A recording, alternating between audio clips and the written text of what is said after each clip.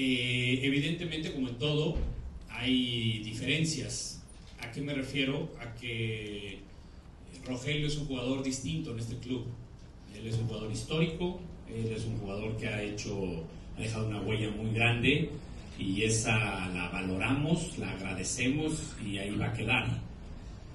Sin embargo, eh, todo tiene su ciclo y en una plática con el agente de Rogelio hace algunas semanas, inmediatamente terminado el torneo, a sabiendas de que le restan seis meses de contrato, la plática se dirigió hacia si pensábamos entablar una negociación para renovarlo y le dijimos que no era nuestra intención, que nosotros contábamos y valorábamos a Rogelio y que él tenía un lugar, insisto, muy importante en el club, que el cuerpo técnico contaba con él, nosotros también, pero que eh, le restaban seis meses de contrato y entonces la plática se abrió a esa posibilidad de que si hubiera una opción suficientemente interesante para Rogelio, dejaríamos salirlo.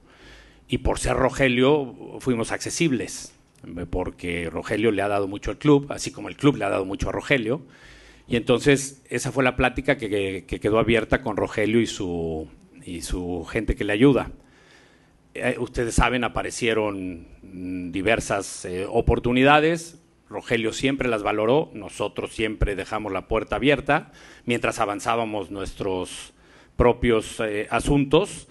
Y hoy Rogelio nos comunicó que con este antecedente de nuestra apertura a dejarlo salir si él encontraba una alternativa que lo hiciera feliz, que lo motivara, que le atrayera, atrajera este, la tomaría, pues él nos hizo saber que, que esta le atrae.